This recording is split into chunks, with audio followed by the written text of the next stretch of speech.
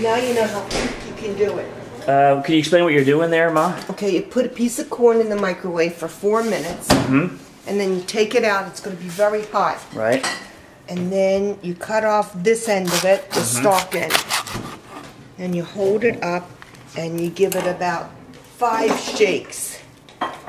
Well, maybe There you go. there, and it comes out perfectly clean with no silk, and it's cooked and ready to eat. Ready to eat it. How was that piece of corn? It's Good.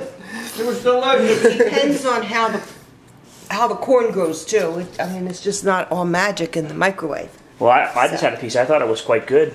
I found a piece of silk on it. And how? What? Uh, what temperature do you, in the microwave? Hi. High. Right. Have a banana? Well, there you go, folks. How to shuck corn the easy way with a microwave. No mess, no fuss. Well, No, I've had it before. It's good.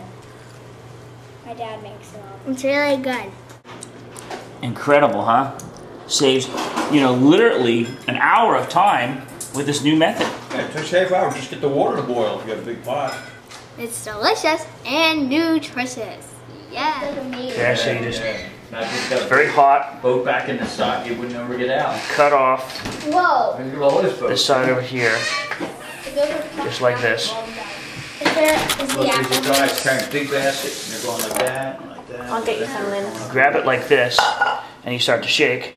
It could be very dangerous. See that? That's how you do it. Grandpa! The new way of shucking corn. Dave. Grandpa, grandpa, grandpa! Oh, yeah, look at that fish, huh? Carol didn't read you the last step. Wow. Pick the corn off the floor.